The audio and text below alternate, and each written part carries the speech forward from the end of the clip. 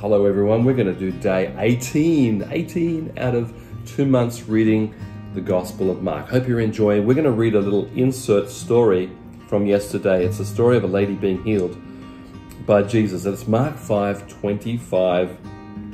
I love this story. A woman was there who had been subject to bleeding for 12 years. She had suffered a great deal under the care of many doctors and had spent all that she had. Yet instead of getting better, she grew worse. When she heard about Jesus, she came up behind him in the crowd and touched his cloak because she thought, if I just touch his clothes, I will be healed. Immediately, her bleeding stopped, and she felt in her body that she was freed from her suffering.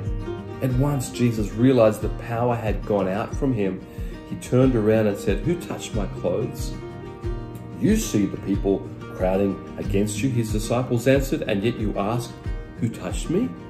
But Jesus kept looking around to see who had done it. Then the woman, knowing what had happened to her, came and fell at his feet, and trembling with fear, she told him the whole truth. He said to her, Daughter, your faith has healed you.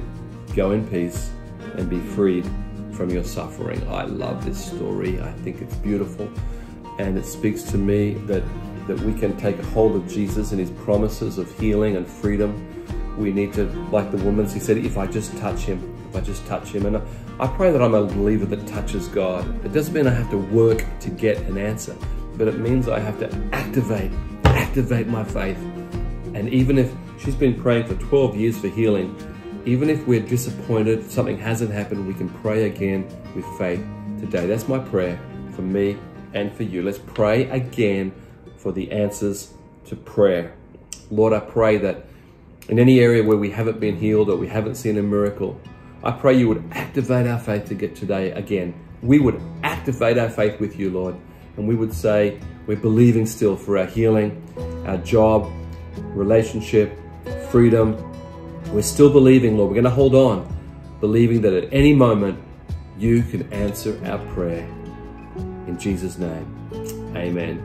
My little thought would be, um, I, I believe that unanswered prayer will be answered, some of it today. That's a bit long, but you know what I mean. Like, this unanswered prayer stuff in my life could happen today. I believe it. I'm praying the same for you. God bless you. See you tomorrow.